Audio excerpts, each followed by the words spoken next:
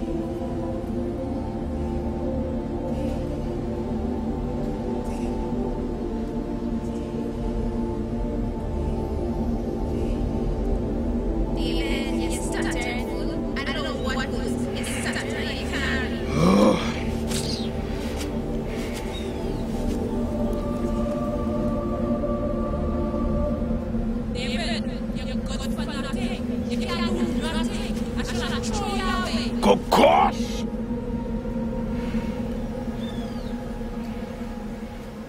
David, my son, I love you.